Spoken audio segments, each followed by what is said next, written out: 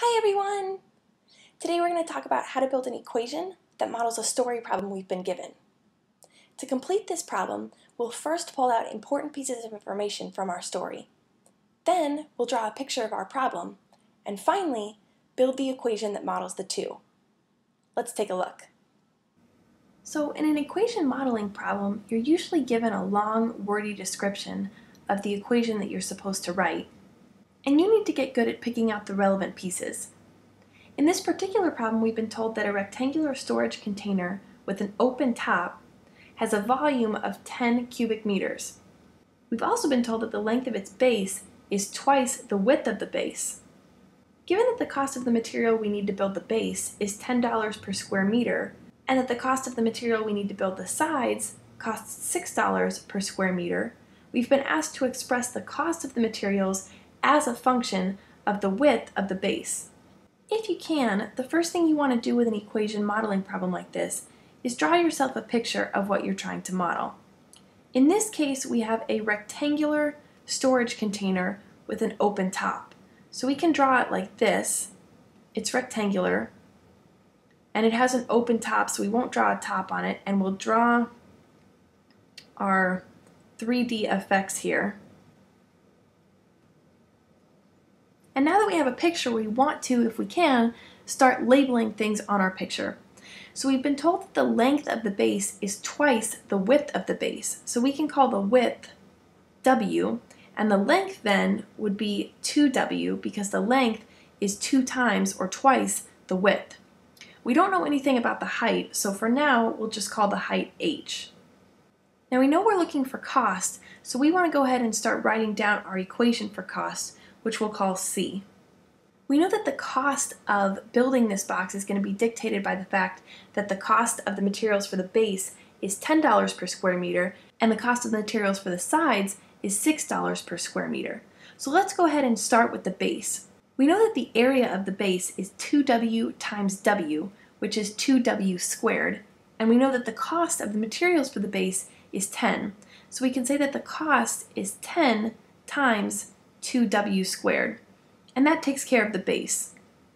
We know that these sides here, the end of the rectangle or the thin side, the area of those will be w times h, right?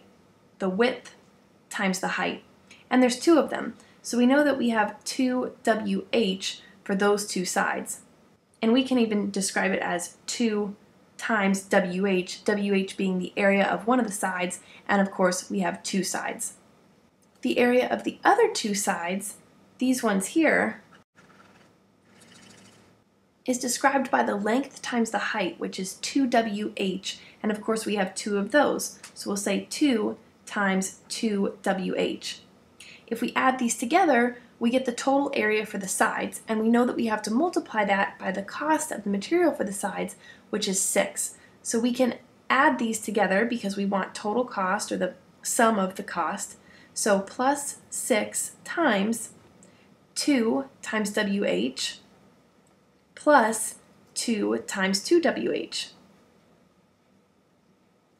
Now we just need to simplify our cost function and make sure that it's in terms of W because we've been asked to express the cost of the materials as a function of the width of the base, and we know that the width of the base is W.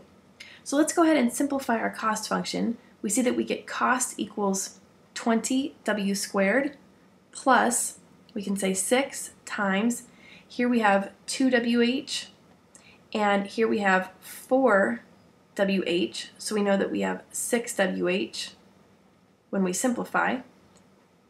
And of course, if we distribute the 6, we'll get plus 36 WH. So now we've simplified as much as we can, and our cost function is in terms of W, except for the fact that we have this H variable here. So we need to eliminate that in order to say that our cost function is exclusively in terms of W. The way that we're going to do that is by using the only piece of information that we haven't used so far. We used the fact that the box was rectangular to draw a picture, as well as the fact that it had an open top. We used this fact that the base length was twice the base width to label our picture, and we've used our two pieces of cost information. So all we have left here is the piece of information about the volume that we haven't used. We know that the volume of this box is equal to the length times the width times the height. We know that our length is equal to 2w.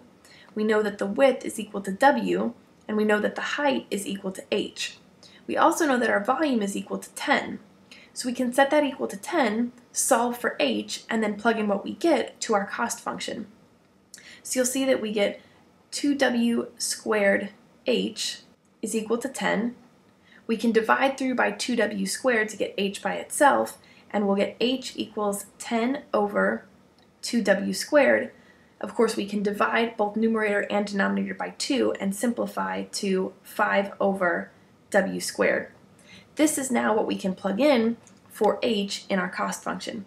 So we'll see that cost is equal to 20w squared plus 36w times what we got for h, which was 5 over w squared. And because we now have a w in the numerator and denominator of this second term here, we can cancel one of those to see that our cost function is 20w squared plus 36 times 5 is 180. So 180 divided by w. And that's it. There's our cost function in terms of the width of the base, or w. So I hope you found this video helpful. If you did, like this video down below and subscribe to be notified of future videos.